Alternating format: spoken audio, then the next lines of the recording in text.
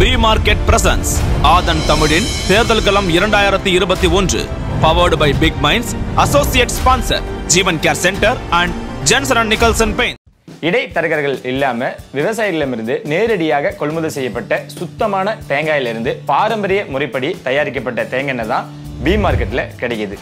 B market be the change Big Genius அகாடமியின் plus two மாணவர்களுக்கான big minds tuition batches அனுபவம் வாய்ந்த ஆசிரியர்களை கொண்டு சிறந்த முறையில் பயிற்றுவிக்கப்படுகிறது. பாடப்பிரிவுகள் மேத்ஸ் பிசிக்ஸ் கெமிஸ்ட்ரி பயாலஜி மேலும் விவரங்களுக்கு ஒன்பது கீழ் இருபத்தி இரண்டு ஜம்புகேஸ்வரர் நகர் திருச்சி ஐந்து. தொடர்புக்கு eight zero nine eight zero two eight zero five six. குடி மற்றும் போதை பழக்கத்திற்கு அடிமையாகி இருண்ட உலகில் மாட்டிக்கொண்டீர்களா உங்கள் வாழ்வின் வெளிச்சத்திற்கு ஒளியேற்றுகிறது ஜீவன் கேர் சென்டர். நம்பிக்கையோடு நீங்கள் எடுத்து வைக்கும் முதலடி நாளை உங்களை புன்னகை தேசத்தில் குடும்பத்துடன் சேர்த்து வைக்கும் ஜீவன் கேர் சென்டர்.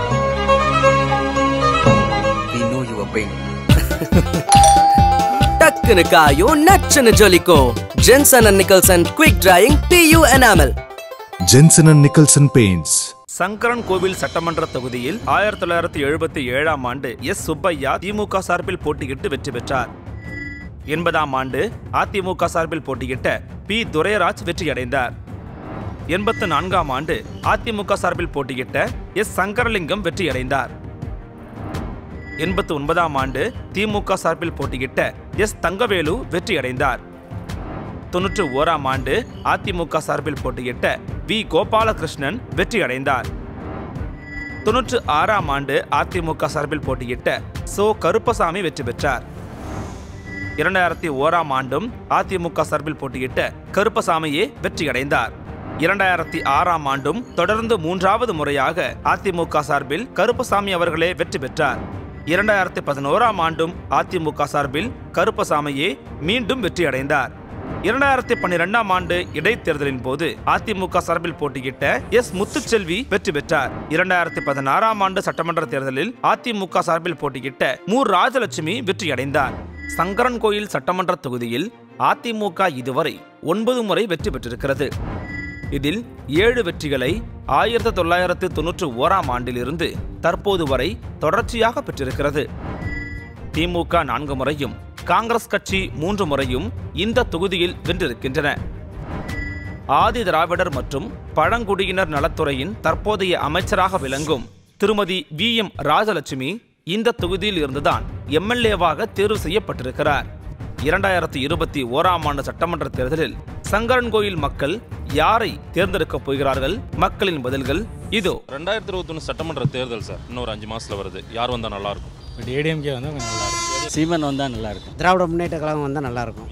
அது வந்து ஆட்சி மாற்றம் தேவை வேறு. இப்போ இருக்கிற ஆட்சி இருந்தாலே நல்லதாக தான் இருக்கும். இந்த சங்கராயில் தொகுதியை பொறுத்த அளவுக்கு நீ டிஎம்கே தான் வரும்.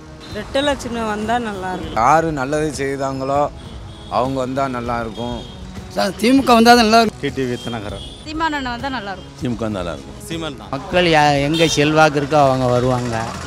டிடிவி தினகரன் வந்தா நல்லா இருக்கும் புதுசாக யாராவது வந்தாலும் நல்லாயிருக்கும். எடப்பாடி வந்தால் நல்லா இருக்கும் ஸ்டாலின் வந்தால் நல்லா இருக்கும் மக்களுக்கு நல்லா யார் செய்தாங்களோ அவங்களும் வந்தால் நல்லது.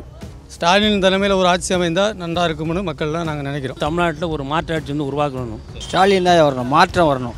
பிரதமர் ஆட்சி வந்தா நல்லா இருக்கும் திமுக வர்றதுக்கு ஒரு பல வழிகளில் வாய்ப்பு இருக்குது திமுக ஆளுங்கட்சி வந்தால் நல்லா இருக்கும். திமுக கூட்டணி வந்தால் நல்லா இருக்கும்.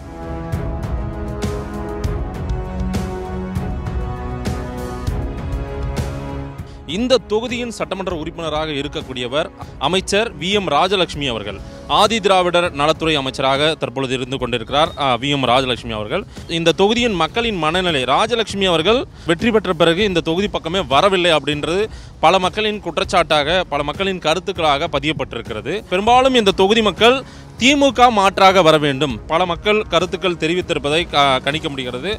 இந்த தொகுதியில் பறந்துபட்டு பல இடங்களில் சொல்லக்கூடியது வந்து சங்கரன்கோவில் தொகுதியை பொறுத்தவரையில் திமுக வர வேண்டும் என்பது மக்களுடைய விருப்பமாக இருக்கிறது. ஒரு பெண் அமைச்சராக இருக்கக்கூடியவர் வி எம் ராஜலட்சுமி. இது வந்து ஒரு தனி தொகுதி. இந்த தனி தொகுதியில் வந்து அவங்க வெற்றி பெற்ற பிறகு அவர்கள் வளர்ந்தார்களே தவிர தொகுதி வளர்ச்சிக்காக எதுவும் செய்யவில்லை. சாலைகள் செப்பனிடவில்லை. அதே போல கிராமப்புறங்களில் ஒரு எம்எல்ஏவாக எங்கள் தொகுதி பக்கம் வந்ததே இல்லை. திமுக திமுகவை பொறுத்தவரையில் வி எம் ராஜலட்சுமியை எதிர்த்து கடந்த முறை போட்டியிட்டு தோல்வியடைந்தார் திரு அன்புமணி கணேசன். அவரே இந்த முறை போட்டியிடுவாரா என்பது ஒரு கேள்விக்குறியாக சொல்லிட்டு இருக்காங்க. திமுகவை பொறுத்தவரை இந்த தொகுதியில் வெற்றி வாய்ப்பு அதிகமாக இருப்பதாகவே அந்த மக்களின் மனநிலை காட்டுகிறது. திருநெல்வேலி மாவட்டத்தில் இடம்பெற்றிருக்கக்கூடிய இந்த சங்கரன் கோயில் தொகுதி ரொம்ப முக்கியமான ஒரு தொகுதி. இந்த தொகுதிக்கு களத்திலே சென்று மக்களின் கருத்துக்களை கேட்டறிந்தார் ஆதரனின் மூத்த ஊடகவியலாளர் திரு மாதேஸ்வரன் அவர்கள்.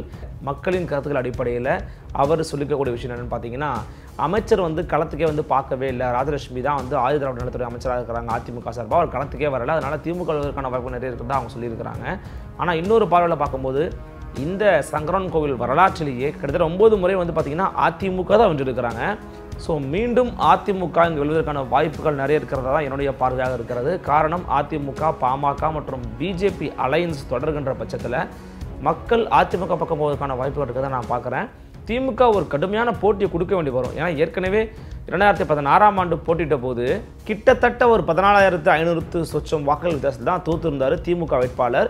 இந்த மாதிரி ஒரு கடுமையான ஒரு போட்டியை கொடுப்பாருங்கிறதுல மாற்றுக்கிறது கடமில்லை ஆனால் அந்த போட்டிக்கு அதிமுக சமாளிக்கும் அந்த அளவுக்கு அவங்கள்ட்ட பலம் இருக்குது அப்படின்னு தான் வந்து நம்மளால் பார்க்க முடிகிறது. ஸோ பொறுத்திருந்து பார்க்கணும். ஆனால் இரண்டு பேருக்குமே ஒரு ஒரு கடுமையான ஒரு போட்டி போல தான் இந்த சங்கரன்கோவில் தொகுதி இருக்கும் அப்படிங்கிறதுல மாற்று கருத்து இல்லை. மாதேஷின் கணிப்பு நடக்குமா? அல்லது அருள்மொழிவர்மனின் கணிப்பு நடக்குமா? உங்கள் கருத்துக்களை கமெண்ட்ஸில் சொல்லுங்கள்